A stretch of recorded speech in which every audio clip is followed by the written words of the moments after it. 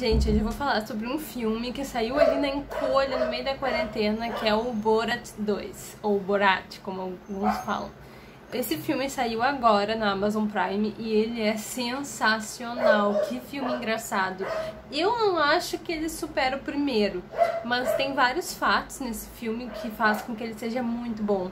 Uma é que as pessoas do filme, como ele estava disfarçado, porque no primeiro filme também é a mesma coisa. Ele vai fazendo as coisas e as pessoas vão reagindo. Ninguém ali tá contratado. A maioria das pessoas da rua ali reagem àquele comportamento bizarro dele. E eles filmam, e isso é muito legal. É uma coisa muito safa, assim, que o cara inventou. É incrível, assim, eu sempre achei isso muito show. E como ele já ficou conhecido e tal, ele fez. Durante esse filme, ele se vestia de outra pessoa. E ficou bem real, assim. Ele botava uns vestimentos, botava uma peruca, não parecia ele. E então ele ia fazendo aquelas bizarrice, assim, na frente das pessoas e elas reagindo. Quando ele tava normal, assim, com a fantasia do Borat mesmo, uh, aí as pessoas pediam um autógrafo, porque realmente ele é muito conhecido, né? E eu fiquei rindo demais desse filme, ele é muito engraçado, porque é triste também, porque a gente sabe que a realidade lá do Cazaquistão e coisas assim para as mulheres ainda é muito hostil, né? É muito machista. Então, esse filme traz bem esse lado, assim, porque o intuito do filme é o seguinte: ele ficou muito envergonhado como um jornalista mundialmente. Ele foi envergonhado, desmerecido, o país dele odiava ele, ele sofreu torturas bizarras que eles mostram.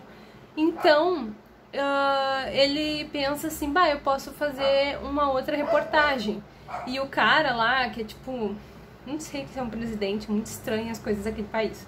Mas o cara diz pra ele, ah, tá bom, tu tem uma missão então. Tu vai entregar um macaco lá pro presidente, pro Trump ou pro não sei quem. Então, ele vai com essa missão, só que a filha dele se esconde. A filha dele é tratada que nem lixo, assim, ela mora num chiqueiro, numa jaula, e ela tem um livrinho de como lidar com filhas mulheres, porque lá a mulher é muito desmerecida.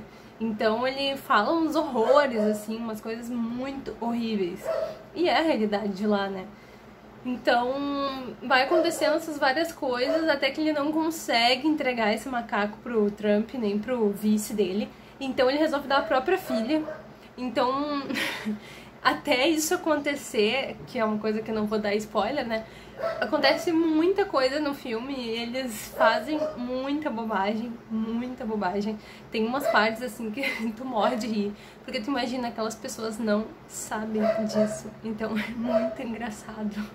É uma coisa assim, como é que as pessoas reagem a isso se elas não sabem que estão sendo gravadas? Claro que depois acho que eles pedem consentimento, coisa e tal, mas os próprios políticos. Então o Trump ele se pronunciou e disse que isso era um absurdo, que não tinha nada de engraçado, porque eles fizeram altas piadas com todo o eleitorado ali, né?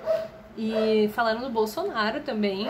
Então, eles fizeram muitas piadas mesmo. Até uma entrevista com um cara lá do governo deles. Ele não sabia que ele estava sendo gravado. E foi um pouco bizarro, assim. Deu bastante polêmica, porque falaram que ele ia abusar da guria ali, né? Que é a filha do, do Borat, que é a Tuta, o nome dela. Então é muito engraçado, assim, muito engraçado. Se tu parar pra pensar que as pessoas não sabem que aquilo ali é um filme, não sabem que ele tá, tipo, encenando, é que nem tu vê um louco na rua, né?